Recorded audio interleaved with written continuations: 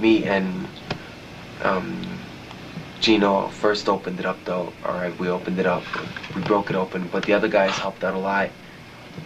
Um, I like to put them in this, you know, but they're not here because they really, uh, because they really helped and everything. Because we're the forefathers, me, Daco, and Bucci and everything. We're the first ones who opened up everything. We made this trend from now on.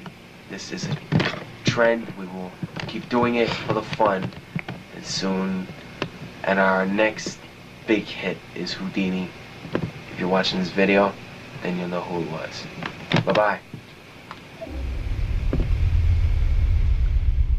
If you can identify the man in this video or have any information regarding its origins, please email planetweird at press at weirdhq.com.